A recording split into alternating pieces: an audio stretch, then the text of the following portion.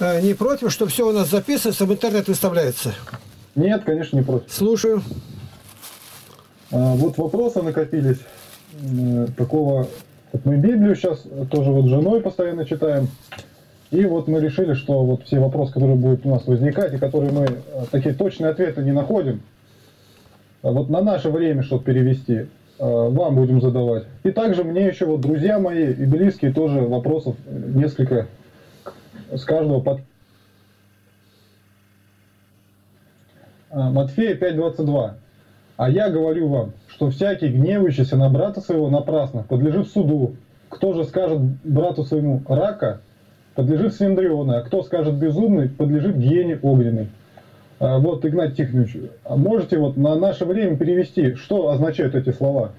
Это означает, что ты говоришь их брату, который рожден свыше, который трудится для Бога, который движим Духом Святым. И ты фактически по ношению говоришь на его труд – это на Духа Святого. Вот на меня, которые нападают, там, потрясшие священники, он головой крутит, и без сатана, без сатана. Он не понимает, что делать. Бог покинул его. Он уже все за гранью, откуда возврата никогда не будет. Он, под, он уже гену огненную собрал себе.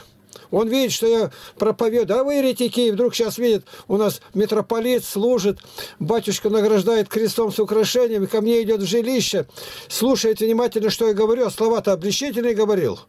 Ему, конечно, человек же надо понимать, тоже не все это удобно, однако уже позади все это дело. Эти слова остаются, сейчас их начинают по интернету распространять, что я там говорил. А я бы на это не пошел, если бы Дух Святой меня не подвиг на это. А что безумный? Безумный, это свободно можно сказать. Считаем 13-й псалом и 52-й. «И сказал безумец в сердце своем, нет Бога». 13-й, 52-й псалом. Тогда Господь, когда говорит, то обращается «безумные слепые». Безумные слепые. Значит, можно говорить? Можно. Почему это враги Христа Христова? Вот Жуна Давиташвили, когда умирала, то она безумная, она прожила жизнь сатаною, и теперь расхищает имение, ничего нету, она с ума сошла, всем помогала вроде, ну там экстрасенс в первой стране был, а умирать себе не могла помочь, приемного сына загубили. Он ничего не слушался, разбился на машине, а пошел в сауну, там зарезали, говорит. Это от Бога? И что, безумные? Безумен человек, а Ян Златоуст говорит, не безумный, а безумнейший из безумных. Вот еще как. Почему э, пророк Исаия говорит, и злодей злодействует злодейски. Даже не скажешь так. Вот так, что здесь говорится именно брата твоего, верующего. А где безумные не верят в Бога, ты свободно можешь. Почему? Ты слова библейские прочитал, не свои. Вот так. А, ну то есть, если, допустим, действительно вот, ну, человек безумный, э, ну вот, допустим, болезнь у него какая-то, да, то, ну, как бы я, можно сказать безумный, это, эти, эти слова к этому не относятся. Нет, когда... конечно, нет. Это болезнь. Потерял разум. А бывает, обезумел от гнева, от страсти, он что делает? А это о братье речь идет.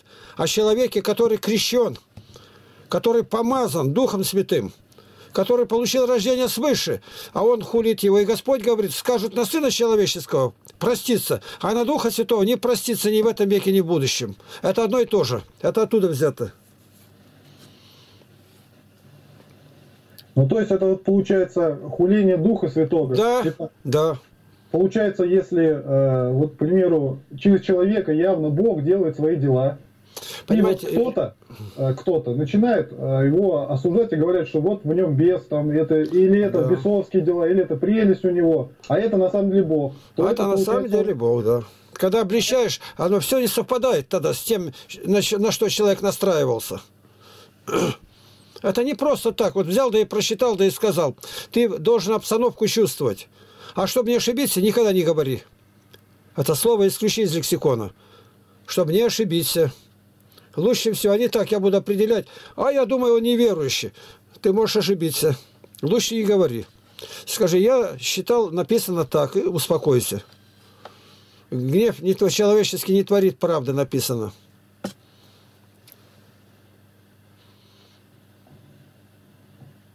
Второй вопрос. Матфея 5.24. Оставь там дар твой пред жертвенником, и пойди прежде примирись с братом твоим, и тогда и приди и принеси дар твой. Э, вопрос. Если брат на тебя обижен за то, что ты сказал какую-то ему правду, Ну ну, да. то есть об- обличил его в чем-то там, к примеру, он что-то не так, э, какой-то грех совершил, ты ему это сказал, но он на тебя обиделся. И э, относится ли это вот к этому стиху, то, что вот, ну, вот этот момент? Ну, обстановка покажет на самом деле, потому что здесь бывает нюанс в произношении, в интонации, в движении тела, во всем высказывается презрение. Это, понимаете, на все случаи никак, надо конкретно, под какому случаю это говорится. И тогда, ну, надо стараться так, если попадает под сомнение, лучше не делать, не говорить, не смотреть. Отвечать меньше будешь. Не знай, как говорит, дома сидит, а знайку по судам таскают. Если ты сказал против, значит, вышел на тропу войны. И теперь думай, устоишь или нет. Меня вот другой раз под, подначивает, как говорят, и, а вот такой-то, почему его не обличили? Я материалы дал, там все сказано. Я ж скинул ему. Достаточно. И когда, как сказать, вот сейчас сидим за столом там, я кое-что сказал. Сказал, что раньше времени рукополагает, никуда не годится. Крестят как попало, не крестят, портят людей только. Я сказал. А они не приняли. О, теперь все. Иезекииля 3.18. Если брат согрешал, а ты не сказал, не обличил его, он погибнет, а его кровь я взыщу с тебя. Но если ты говорил, Иезекииля 3.18, но если ты обличал его, он не послушал, то он погибнет, и кровь на его голове, а ты спас свою душу. Вот как. А не так, что моя хата с края, ничего не знаю. Это не пройдет. Но у меня еще общего-то с ним. Я зато воздух общий, земля общая, солнце общее. Вот и весь сказ. Надо вести себя кротко, смиренно, тихо. Когда за дело Божие ревнует, тогда дело другое. Тогда человек ревнует. Павел, он разговаривал с Елимой, волхвом, говорит, ты враг всякой правды, сын дьявола. Да коли будешь совращать прямых путей Господних, вот на тебя рука Божия, и он ослеп сразу. Ясно дело, что он сказал эмоционально. Не так, что там ты враг, дьявол, там это все. Не надо.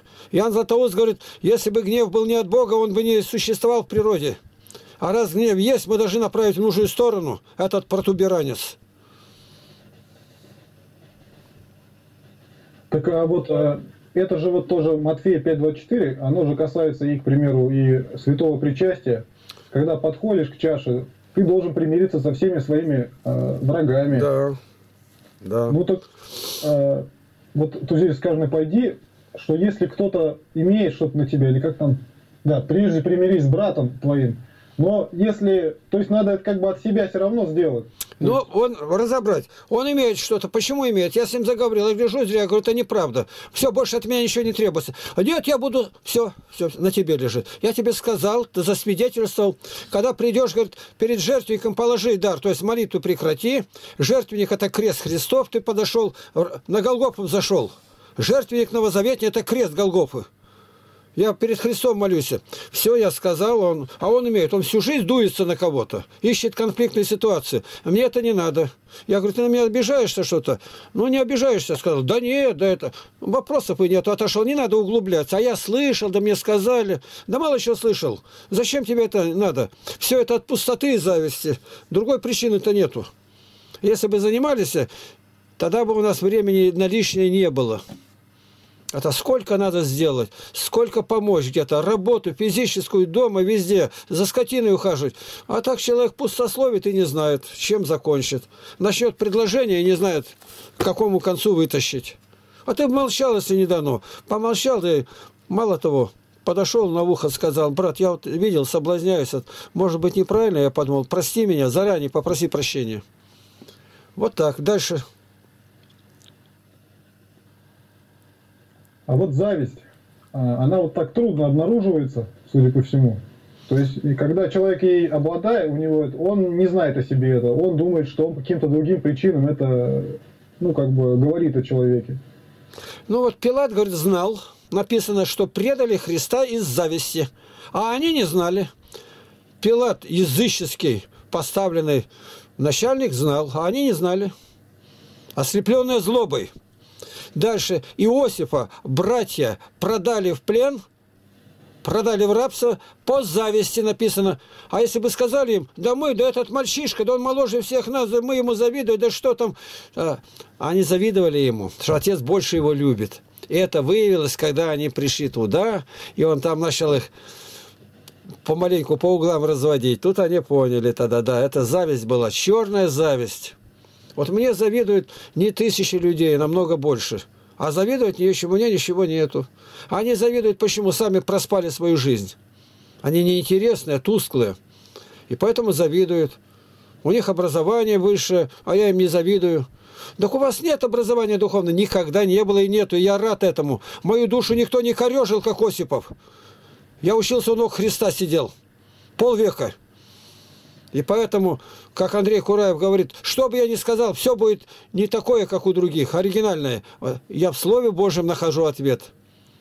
Вот сидел архиерей, я этих спросил, которые сидят, диаконы и подиаконы, вы молились когда-нибудь, чтобы Бог дал слезный дар? А он стоит в алтаре, хохочет, хихикает там, другого тоже на это ведет. ради архиерея только не тронули, мы бы сразу оттуда убрали.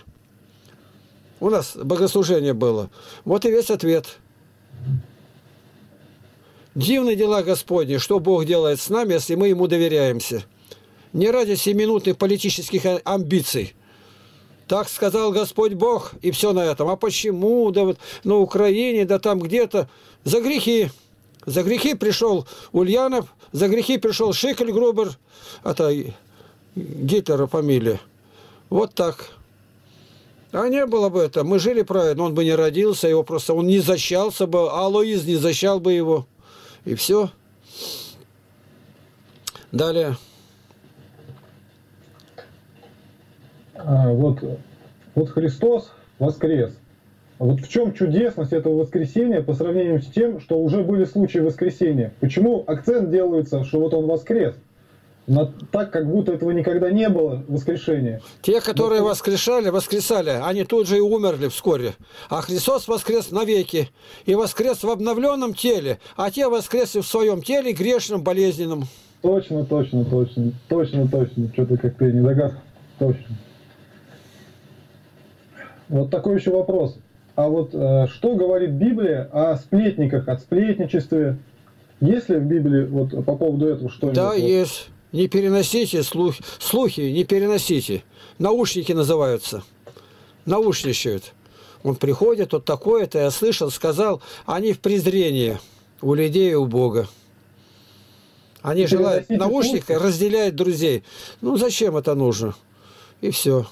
Это ни, никуда не годится. Интересный рассказывает случай был с Сократом. К нему какой-то подошел один знакомый и говорит, ты знаешь, я такое узнал про твоего лучшего товарища, такое. Вот хочешь расскажу? Он говорит, подожди. То, что ты слышал, ты уверен в этом, что это так было? То поставил, да нет, я не уверен. Итак, ты хочешь мне рассказать про моего товарища то, в чем не уверен. Говори дальше. Он говорит, ну а вот он, так, подожди. А второе, а ты как думаешь, это ближе меня сделай к товарищу, или может между нами кошка черная пробежать. Он подумал, да нет, отношения ваши не улучшатся. И так, он говорит, ты хочешь прийти мне, пришел рассказать про моего любимого товарища, то, в чем ты не уверен, и знаешь заранее, что это послужит к нашему размежеванию, хорошо, давай дальше будем говорить. И ты это все скажешь, тебе на душе будет легче, тот подумал, да нет, я тоже теперь опасаться буду. Итак, ты хочешь рассказать? И снова повторяет ему. И да больше, ну да нет, говорит, рассказывать еще не буду, пошел. Это мудрец так. А другой бы уже развесил слоновье до полу. И давай, говори. Вот я-то узнал. -то. Я-то запишу себе. Он как Золотухин. Валерий Сергеевич. Сейчас пишут похороны, как прощание называется. Вот зарядите прощание Золотухин. И он везде про всех артист. Про всех все записывал с кем был, с кем рядом, все записывал-то. С женой, с которой был, с прелюбодейкой, все записывал. И везде он бурчал, недоволен. А он у меня был, пришел сюда, вот я сижу, его привел, привел сюда э, режиссер Кузнецов Владимир Сергеевич. Сергеевич, да, ко мне сюда. И он начал говорить, кривляться. Я говорю, а что вы тут кривляетесь-то это? Ну, он артист такой, да нет. А вы знаете, а я уже знал, что он живет там с разными женщинами, а там, где он есть, там быстро исток, он храм построил. Я говорю, ты, твой храм-то нужен ли? Когда душа-то твоя храм осквернен. Твой храм осквернен-то. Главный-то храм вот он где, а не там. Как говорится, не в стропилах, а в ребрах.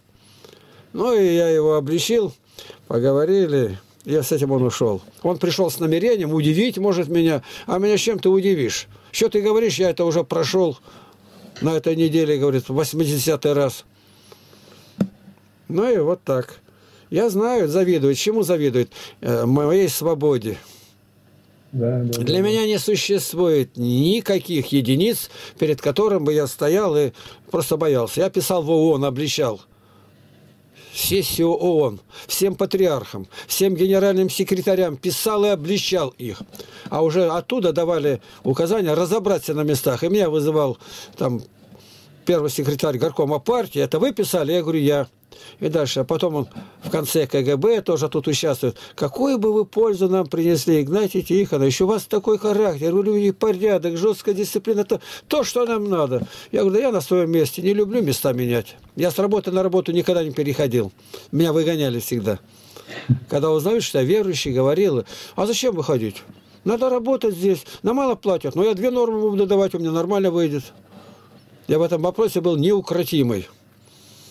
Ни разу с работы, ради другой работы, получше другой город, нет. Меня гнали, и я бежал в другой город. Написано «бегите». Поэтому один сказал, говорит, тот подстарается вы Игнатию подражать, а волчий хвост у вас торчит. Зачем? Хвост волчий. Ну вот, смешно, конечно. Вот так. Далее. Ну да, ну, ну вы это во всем, у вас это во всем так. Так вот смотрите, когда мы считаем там пятая, шестая глава Нагорная проповедь Христа, блажены нищие духом, блажены плачущие, девять блаженств. И дальше говорит, кто нарушит одну из малейших сих заповедей, малейшим наречется в Царстве Божьем. Спрашивает, как так нарушить? Какие заповеди? А вот эти, которые есть, малейшие, то есть юнейшие, они недавно произнесены, не те, которые на горе Синая при громах и молниях. Так он нарушил, блаженный нищий духом, блаженный плачущий или блаженный милости, блаженный миротворец. А он не миротворец, а только зло делает. Как он может в Царстве Божьем? Царствием Божьим называется приход Христа. И я показываю, какая глава послания к Тимофею. Царствием Божьим называется явление Христа. И он там малейшим наречется. То есть малейший будет брошен в озеро огненное. О, о, вот я говорю, вот только так. И я это не как-то узнал от блаженного Феофилакта, а он у Златоуста взял. Я знаю историю эту. И поэтому лучше божественная мудрость, чем самобытная глупость. Далее.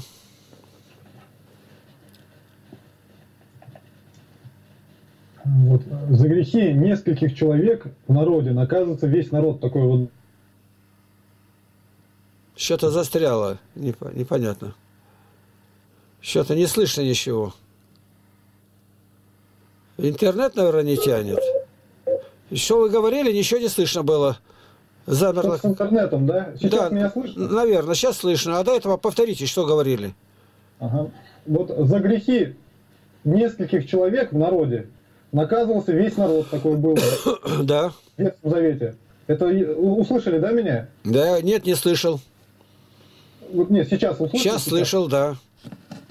А вот можно ли какие-то э, ссылки на Писание по поводу Конечно, этого? конечно. Это мы возьмем и, Иисуса Навина. Вопрос, разрешите дальше еще вопрос задам. Э, и вот, допустим, вот за грехи аборта, распространенные в России, да, или за другие грехи, если на, Бог наказывает в итоге весь народ российский за это, получается?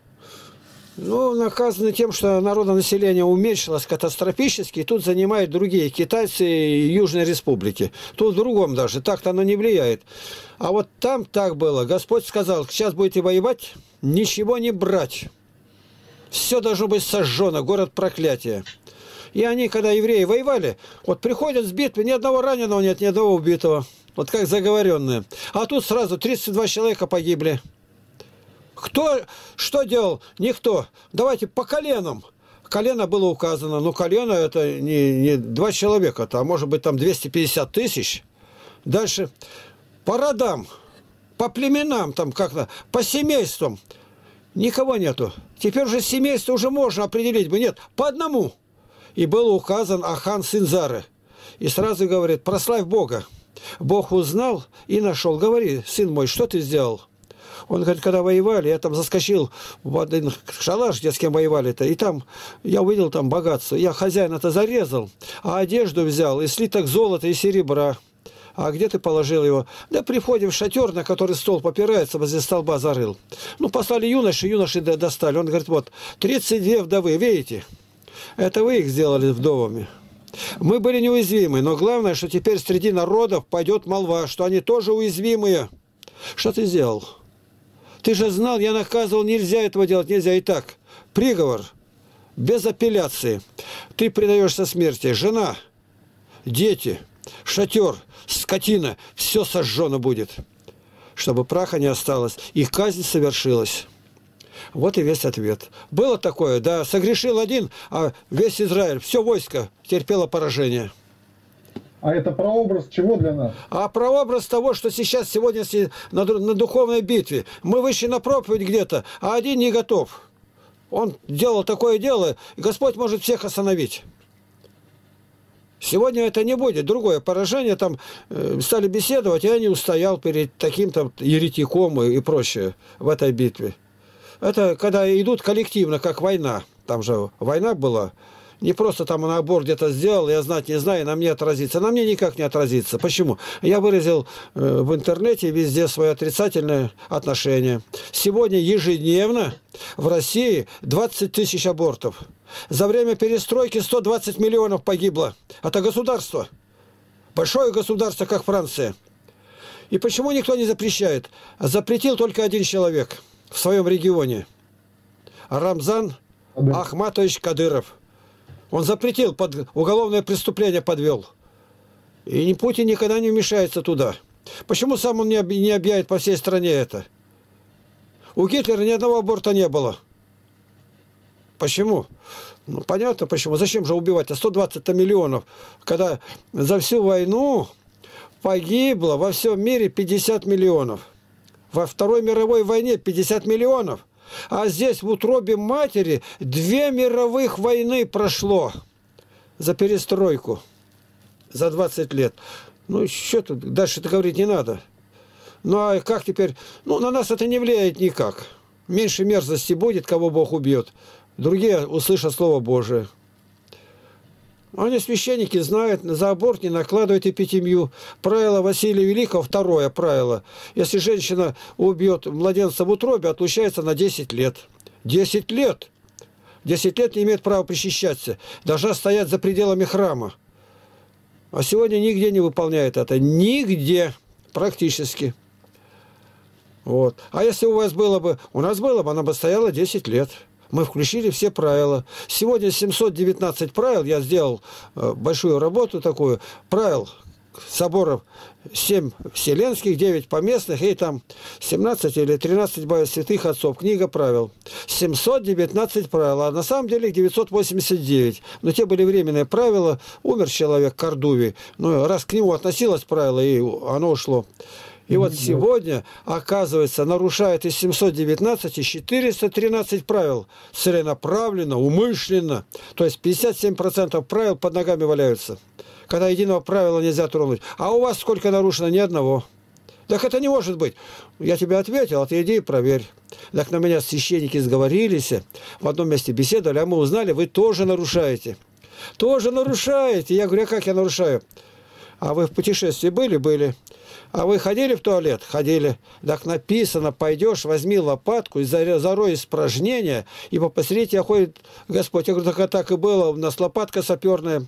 Мы сразу вырывали туалет, уезжая, все зарывали ровно. Как? Я говорю, так у меня фотография есть. Тогда они другой нашли. А вот написано, что у евреев нельзя лечиться. Нельзя лечиться. Я говорю, а почему? Почему нельзя? Я погибаю, а еврей доктор хороший. А объясните, ну правило, правило местного значения, где евреи убивали христиан. Сегодня этого нету. Второе, не заходите в корчму. А вот когда дорога-то ездили, я говорю, а мы не заходили, мы около костра маленький костерок варили и ели. Еще не заходили, нигде не заходили никогда.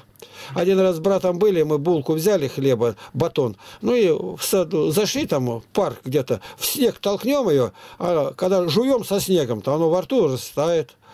И все. А другое, не мыться в бане с евреями. Я вообще не хожу, тем более с евреями в баню. Что заразу буду собирать, сифилитишный какой.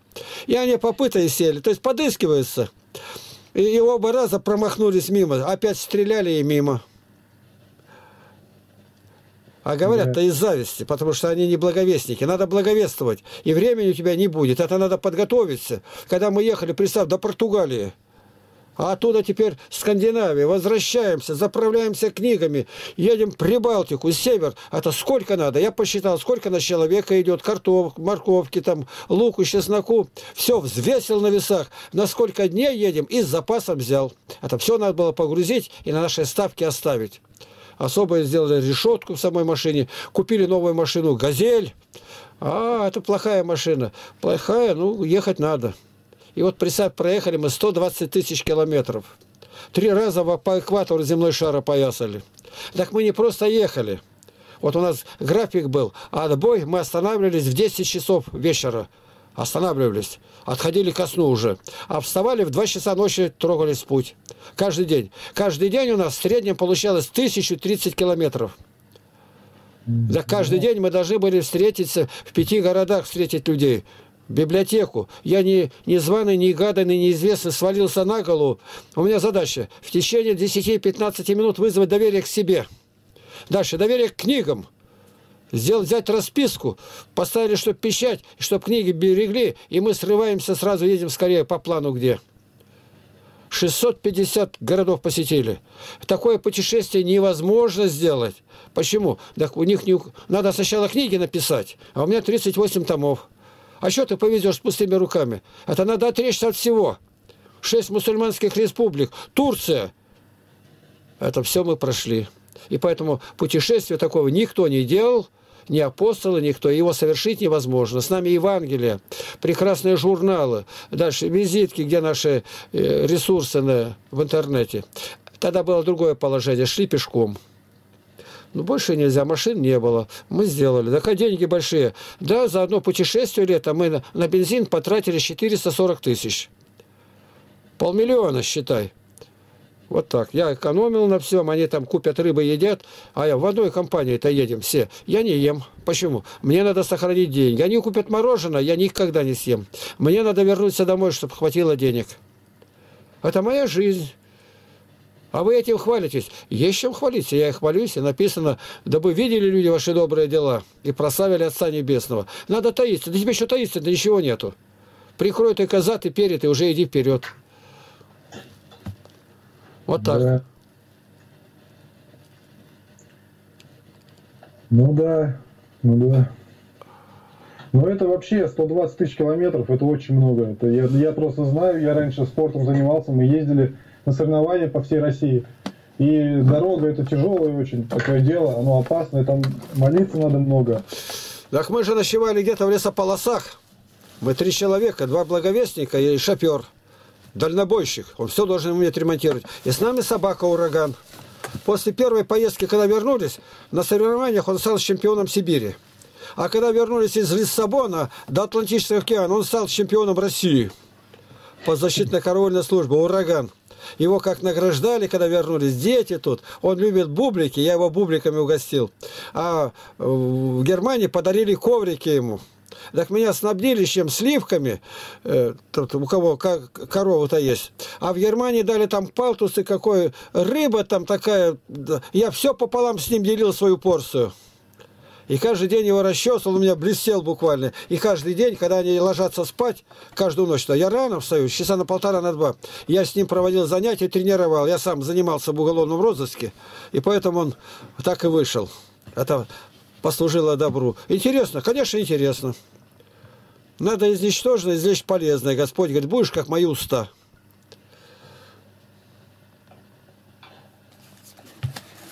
Вот э, я вот сейчас читаю вашу книгу. Э, Для Слова Божия нет уст. Уже вторую книгу сейчас заканчиваю. Я ее перевел на формат для телефона, я вам писал для этого. Да. И вот там интересно, я смотрел, как вот диакон Сергей Бурдин, что он отвечал там на суде, что он, какой он э, писал, какие письма он там писал, какие там прокурору, что или в суд он писал. И мне очень, то, что как он заступался за вас. Да. Мне вот интересно, как его судьба сложилась. Хотел Его бы- сразу архиерей запретил служение. Архиерей. Он умер уже. Гедеон, архиепископ Докукин фамилия. Потом его перевели в Ставрополь. Там умер. У нас такие, там даже мои письма есть к Гедеону. Да, да, я читал. Это он, это он как раз его. Он говорит ему, говорит, ваше счастье, что Игнатий Тихонович не знает, что в алтаре делается. Он видит только снаружи. Что вы там делаете-то? Ну вот так Бог расположил. Его не допустили мне на суде быть. А как не допустили? Они знают как. Они внезапно к нему делают обыск. Он говорит, а я Лапкина вообще не знал. У нас встречи ни одной с ним не было. Мы даже, ну, никогда не были вместе. Неважно, у вас обыск был. Так нашли что? Не нашли. А то, как вы были в числе свидетелей, поэтому вы не можете быть защитником.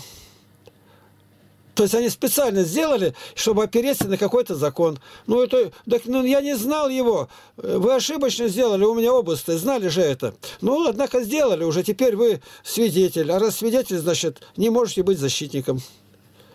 И пар- паршивая эта власть исчезла, ее нету.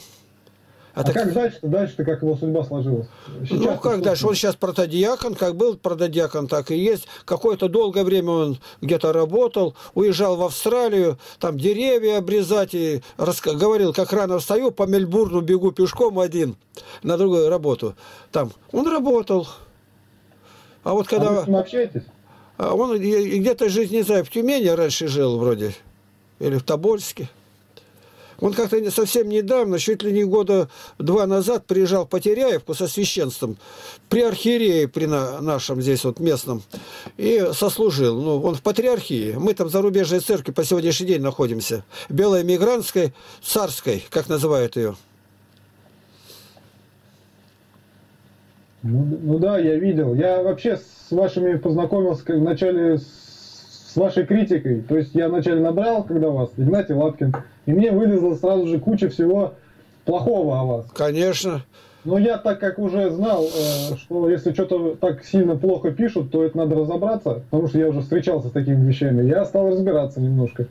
Это Стал смотреть, что оказалось там вранье все. Так говорится, Йодель, такой был философ во Франции это. Но он в Англии был, а потом что-то во Францию переехал. И он говорит, выдержка такая, я так много просчитал клевет в ваш адрес, что я безусловно теперь знаю, что вы очень хороший человек. Так же. Я так же. Иначе, говорит, мертвые не будут долбать, значит, что-то касается их. Я-то ни у кого ничего не брал, я не священник, никто. Да.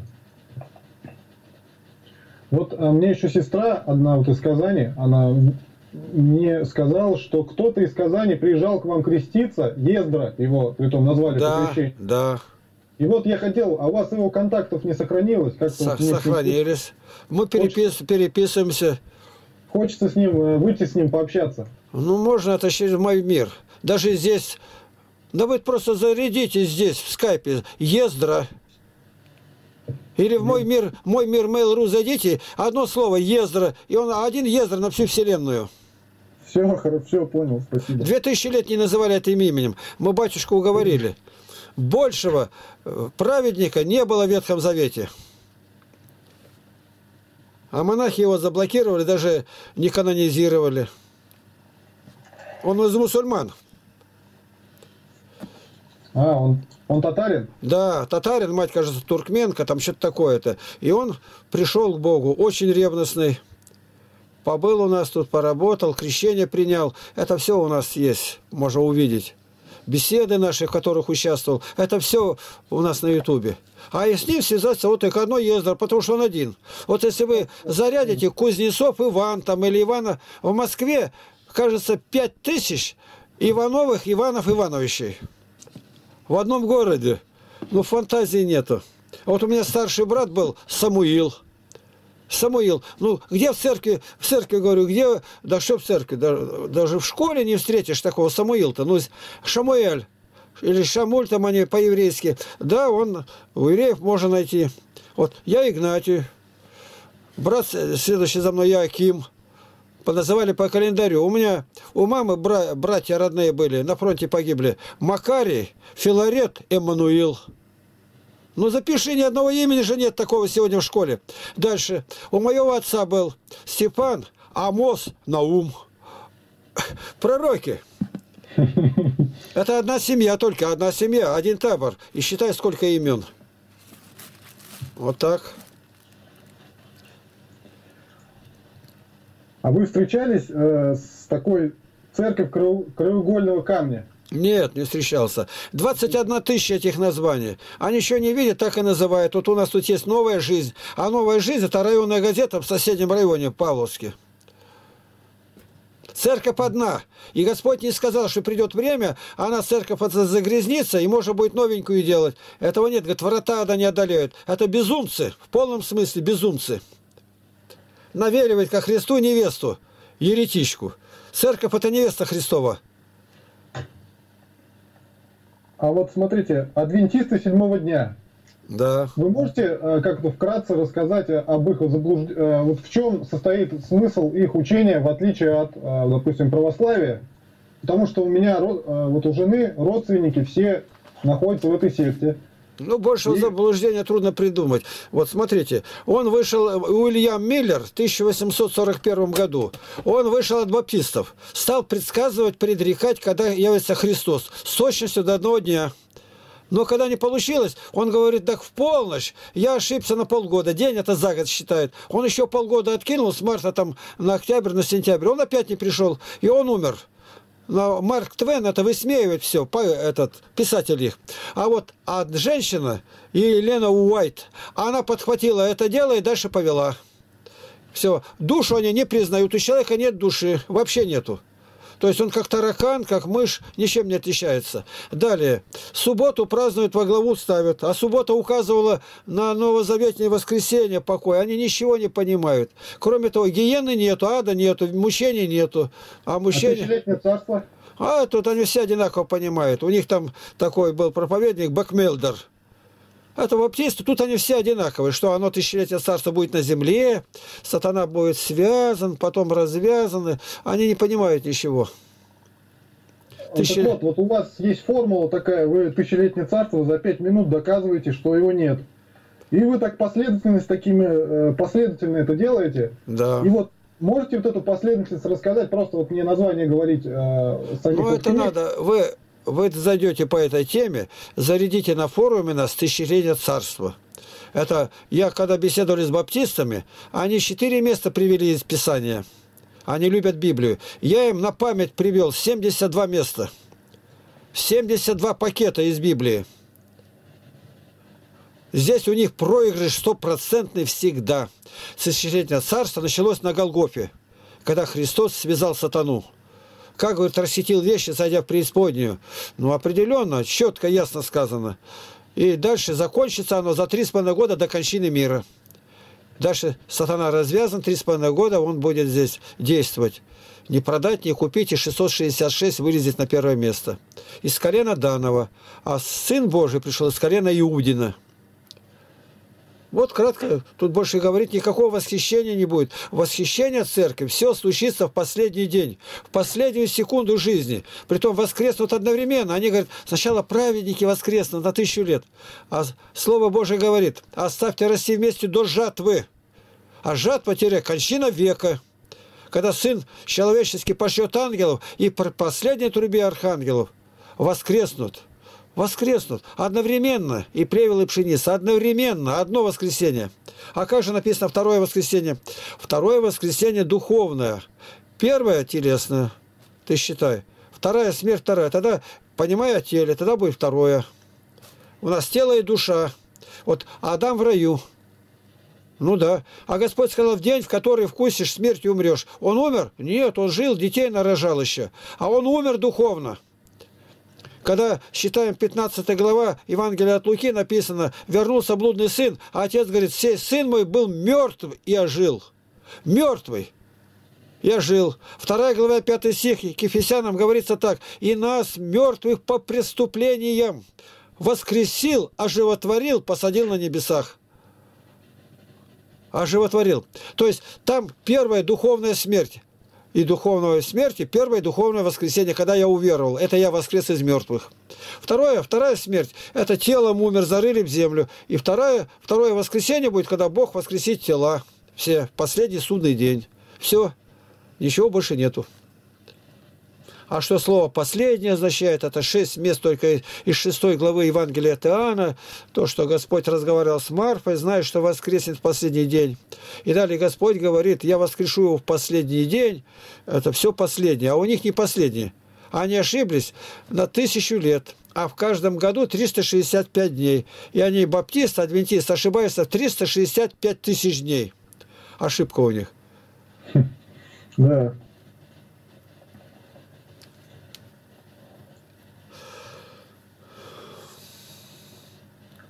Вот вопрос такой еще тогда. А, осуждение и обличение. Вот а разница между ними, как это найти эту, ну вот какая грань между ними, осуждение и обличение? Осуждение означает вынес приговор. Не просто сказал, а приговор, осудил. Осудил, что все он не покается, то другое. Когда Духа Святого похулить только. Иногда я говорю, похоже очень, но и это не могу сказать. А обличать, то есть личину показать подлинную, обличка, личность его показать, еще он состоит. У нас в русском языке богатый русский язык, только слова разбери, что они означают. Обличение, обличи, брат согрешил против тебя, иди обличи его. Обличи. Покаялся, приобрел. Нет, возьми двух-трех, обличи снова. И так далее. Обличать надо. Вот подошли там, против меня подыскиваются, там один священник такой, ну прямо, прости Господи, подлейший. Вместе разговаривали, 9 роликов, прекрасно. Теперь взламывает, заходит везде, все рвет, потому что его там повысили в миссионерском отделе. Ну, Сергей Дудко, я понял. Ну вот. Ну, куда это годится-то? На Валентину Сартисон там напал, все разломал у нее, он знает, жалобы всякие, подговаривают людей меня на ВКонтактах и глушил, глушил понедельно. А потом, когда опомнился, у нас были хорошие отношения, он давай писать в администрацию, я ошибся, снимите это, он заклинал. И он сейчас просто с ума сходит. Я ничего не могу сказать, но я ежедневно молюсь о нем, чтобы Господь дал ему квартиру. Вот все, что он бунтует все эти годы, я ни одного дня не пропустил, чтобы перед Господом на молитве не сказать, Господь, дай ему квартиру, ему так тяжело. Это все временное, что он говорит. Не вмени им этого безумия. Он не знает, что говорит худо. Как Господь... Я читал, читал да. ваши переписки. Да, вот такое. Я даже потом удивился, я даже не знал, я думаю, это не он. Потому это... что я читал вашу переписку, он так искренне вам писал. Да, это он. Это вот на радиостанции потом он тоже, да, выступал, получается? Да, несколько раз. Ну а мне-то что от этого? Я работаю, а они-то ничего не делают. Так я-то не священник. С меня спрос за печи и за то, когда я дежурил, сторожем был. У меня воробей не пролетит незаметный. Я там их переловил, этих воров, сколько. То есть я отвечаю за это. Отвечаю за истину в книгах. А он отвечает за пасту, какая есть. Тут разница большая, спрос большой будет с него. Почему Златоуст говорит, если одна душа погибнет по твоей небрежности, о, священник, тебе не хватит всей жизни загладить вину, ибо за нее умер Христос. А я не священник. У меня тысячи людей пришли, как пишет газета епархиальная местная.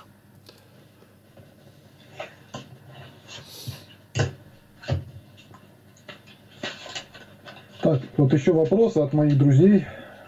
Вот человек, вот у меня есть друг, он вот хотел спросить у вас, как бороться с нетерпением и вспыльчивостью? И с чем? Вспыльчивостью. Вспыльчивостью. Ну как, ну маленько воображение развей, первое качество лидера, первое, воображай, что ты на допросе, уже в тюрьме, почему никто там не пылит? Да тебе зубы заставить проглотить свои в этот же раз. И все, кончилось. Почему нет вспыльчивости? Тут не мог, жену убил, а теперь в коридор выводят, а над ними у нее такая киянка, деревянная, э, деревянный молоток длинный, окованный там алюминием. Они ходят, шконки там бьют, оторвано нет там что-то от полосы. И выходят такие амбалы, руки на стену, ноги растопоришь. И они ноги расширили стоят. И их там пять человек. И она среди них вот такая пигалка ходит и командует. Нет, еще и молотком его ударит. А почему? А по краям там стоят.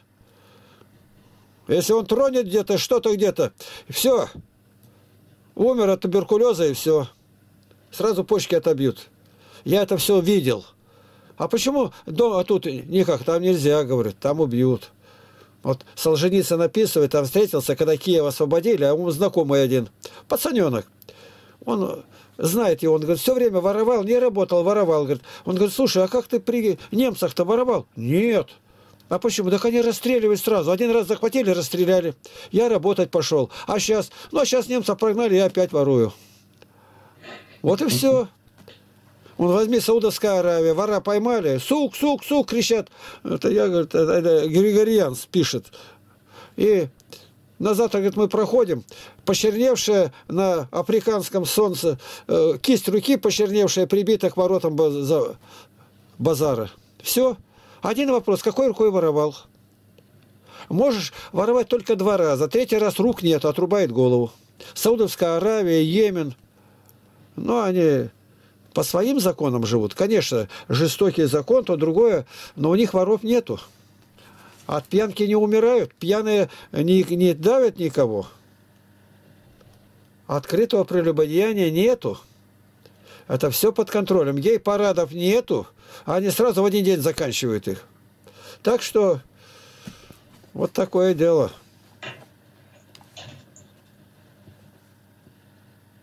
Как не терять благодать?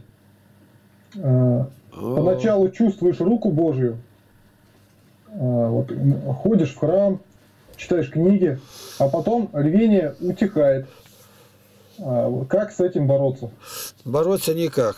Тут только молиться, чтобы к этой грани не приступить, потерять благодать. Благодать, когда человек недостоин, он замер, ничего не делает, а зачем ему это надо? И он стал другой. Вот мне говорят, вот вы раньше ездили, проповедовали, сейчас нету, вы все потеряли. Ну, это нападает где-то. Дескать, я такой ослабевший, то другое. Ну, я тогда приехал, в библиотеке 20-30 человек, а у меня посещаемость просмотров 30 миллионов. Ну, что ты, 30 и 30 миллионов. У меня в миллион больше теперь. Сколько я провожу? Ну, у нас 14 тысяч роликов на одном ютубе. Меня блогером там называют и прочее. Нас отнесли к средствам массовой информации, к СМИ, поэтому у нас закон такой. Я должен внимательно смотреть. Ну и, но они говорят, ну говорят по незнанию. Как это? Я, я ослабел, я тот, как я ослабел? Вставал в 4.40, в 4, а теперь встаю 2 часа. В 2 часа разбираю почту, пока в 4.40 остальные встанут, печь затопить надо. Как я ослабел конкретно? Он ничего не говорит, а надо показать, что я пропащий. Ну, такой, так, ну, помолись обо мне. Ну, грешный человек. Ну, что спрашивать? Я здесь давленный, мятый, говорит, нашинкованный на мелкое. Так ведь 80 лет за плечами. При большей крепости 80. Вот, 10 июня мне будет 80. 9 десятых пойдет. Ну, злорадствует. Они не знают, что за это время у меня столько вышло книг. Я за компьютером провел за 9 лет 30 тысяч часов в окрестности мы только раздали, по домам здесь ездили, 30 тысяч Евангелий. Ну, что это говорит или не говорит? Но надо толкнуть, показать, что я никуда не годный. Ну, я такой есть, немощный, старый, старый, говорит, пень. Ну, а пень-то, говорит, когда почувствует воду, влагу-то и отростки пускает. Я не живу не один. Вот у меня сколько сыновей, сколько дочерей.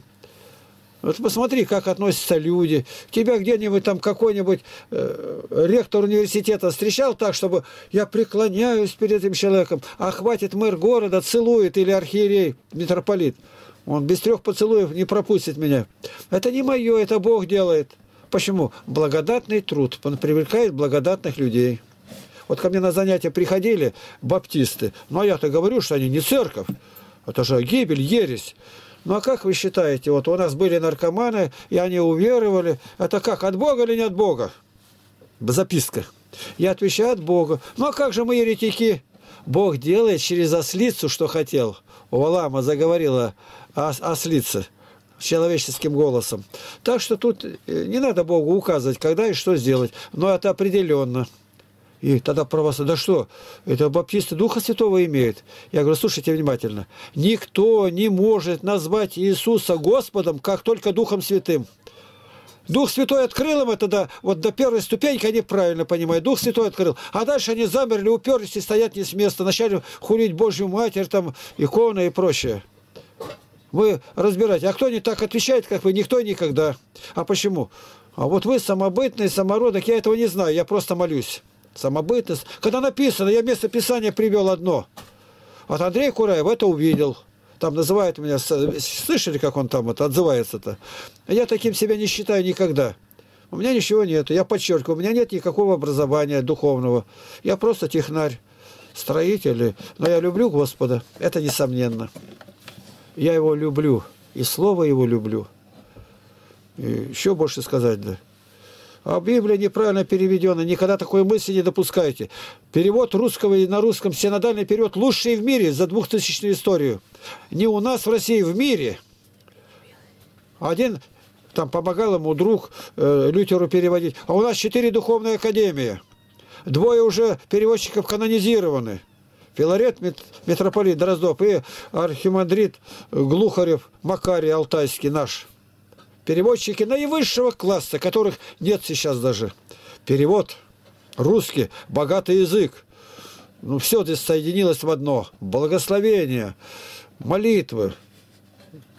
И поэтому вот есть перевод, а по-гречески слово «так» не слушай, они ничего не знают. Одно слово по словарю узнал и трясется. Никогда мысли не допускайте. Лучше Библии, и я самый счастливый человек, что у меня на русском языке перевода 1876 года есть Библия, она лежит у меня перед глазами большая. Никогда не дозволяйте говорить. У нас были, которые приходили в нашем содружестве, сейчас там называется, на занятиях беседовали, и он там по-еврейски там слово скажет где-то. Ну, на меня он наткнулся-то, а я ему все разъяснил. Разъяснил, конечно, ну, так что он понял. Понял, он сразу ушел. Хороший человек. А дальше вот это надмение называется. Надмевается, там он знает, там где-то. Я ничего не знаю. Хотя я, когда обратился, в это время я на семи языках занимался. Я считаю, мои знания во всех языках, где я у немцев поступал на немецком языке самостоятельно, они мизерные, они крошетные такие. Ну, так вы же разговаривали, а вы же говорили. Я говорю, знаю, что такое языки. Это крохотное. Мне надо жить в той стране, заниматься литературой. Вот Набоков, это кентавр был. Он одинаково на русском, на английском писал свою лолиту. Вот. А таких людей-то мало. Это Самуил Яковлевич Маршак, Мелор Стуруа был, по-испански там. Я назову.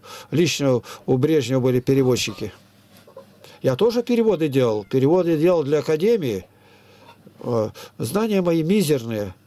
Я говорю, это не то, что я смиренный какой-то, а я знаю – все. Вот сейчас, если бы я знал, мои стихи, вот Яндекс заряжу переводчик, Яндекс переводчик. Мои стихи я заряжаю по-русски, на английский, могу на китайский сейчас сделать. Она переводит, и переводит правильно, но это не складуха. Надо еще подобрать нужное слово, как Самуил Яковлевич Маршак делал, чтобы оно было складное. Вот Расул Гамзатов пишет по-аварски, писал.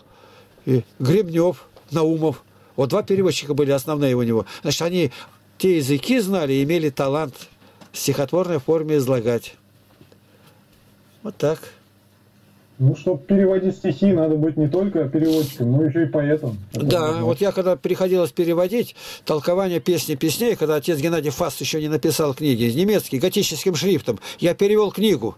И места, где он берет стихи гения, там Гёте, я все переводил в стихотворной форме переводил. Я не ручаюсь там за высоту, стиля, но сегодня вы получали от меня это про пророчество. Ну, вот, да, вот, вот это, это не стихи, это проповедь в стихах. Но зато в них заложено то, что ни у одного поэта мира нигде не было про это сказано. Я определенно знаю, я не поэт, называют там поэтом «сохрани Бог». Я не писатель. Но что идет из сердца, это всем понятно. Я никому не подражаю говорят, ну а стихи хоть на что-то похоже. Бальмонт, Константин Дмитриевич, вот на его стихи примерно похоже, то, что я пишу. Мало того, у меня против каждой строчки стихи есть место писания, откуда взята глава стих, глава стих, книга. Этого тоже в мировой практике никогда не было. Я первый застолбил. Первый. Никогда никто не писал. Ни Пушкин, ни Некрасов, ни Блок. Никто, ни Державин, ни Сумароков. А почему решили? Ну, хотел показать, что я ничего нового не сказал. Этими местами Писания я себя принизил. Один приехал, вот у нас в деревне Потеряевка, хоть один в люди вышел я. Я говорю, а как я вышел? Ну, вот такое пишете, вот даже стихи, вот такое-то у нас такого больше ни у кого не было. Я говорю, так я место Писания указал, откуда взято? Так тогда вы еще больше знаете, вы знаете, откуда взять. Я-то хотел показать, что я ничтожен и ничего не знаю. Я просто, у меня мысль здесь пульсирует. Я эту мысль выразил вот так словами. Да, я выступал в литературном институте, меня там на первое место поставили, э, печатали там в разных местах, свои стихи вышли, у меня 4 тома по 800 страниц стихов. Но это не стихи, это проповедь в стихах, я не, не претендую ни на что.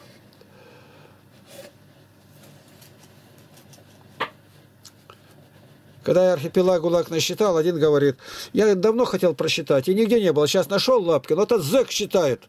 Его видно, что он каждое слово знает. А другой говорит, он ударение там неправильно делает, его к стенке расстрелять мало. Стрелять, а другому понравилось. Я, говорит, сам бы никогда не просчитал. Ну, что сделаешь? Да, я такой вот, ну, негожий. Негожий да божий. Вот и весь ответ. У меня ну дедушка тоже читает. А, он в лагерях, ну, 90 лет сейчас, он тоже в лагерях, сталинские лагеря прошел. Да. Вот он читает тоже очень интересно ему. Ну что, давай прощаться. Да, да, благодарю. Аллилуйя. Во славу Божию. Так что если пройдет дней 10, э, этот ролик может выйти. Там название какое-нибудь может быть божественное. Надо каждый открывать и смотреть. Вы себя найдете. Товарищам вашим передайте. Скажи, я озвучил. Ответ дан. Пусть приходят и слушают. А еще лучше, когда они с вами рядом будут сидеть и будут говорить. Все, с Богом. Будет. Аллилуйя, отошел.